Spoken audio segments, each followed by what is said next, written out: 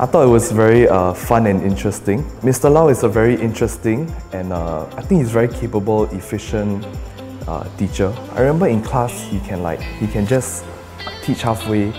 After teaching like an important concept or going through a hard question, he can like walk to each student's table and help them, especially those who are like more introverted or those who like scared of asking like dumb questions. Uh. I also feel like these two-hour classes sometimes don't even feel like two hours. It's like shorter than that because he can make uh, he can like teach chemistry. Uh, he can make it very interesting, make it something that like I want to learn.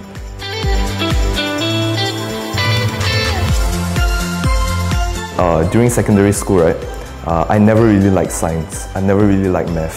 I was always better in like the human stuff.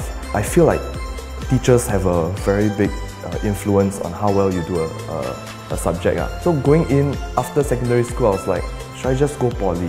But then when the grades came back, it was like, okay lah. So I decided to go JC.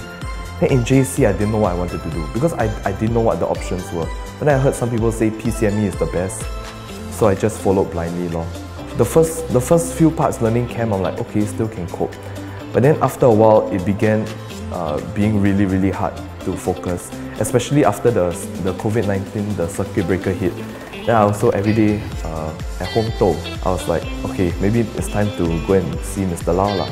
Then after I joined, I remember like the first thing, I still remember like the first thing I learned was the, he was teaching the triiodomethane test.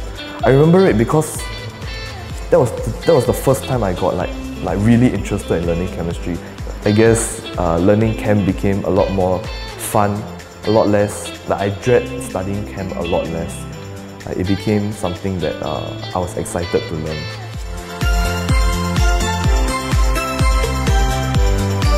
The reason why, actually my mom said uh, I should try joining MLC for, for about three months and then, and then quit. Up. JC1, my chemistry grades was like 10%.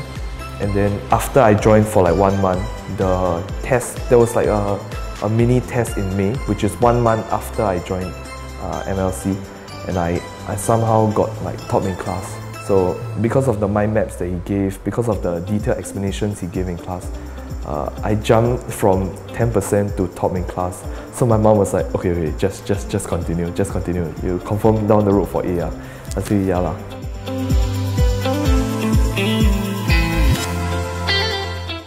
Because MLC really helped me, uh, uh, I actually already asked two of my other friends to join and it also helped them. Like they also like experienced huge huge jumps in their grades also. I also, every time I see a junior, right, and he's like struggling with chem, right, I show them the small books and then they're like, I'm in. So if people, if my juniors want a chem class that is effective and not so stressful to attend, I'll ask them to come here because I don't think I've ever like purposely skip a lesson or like dread to come for lesson. Yeah.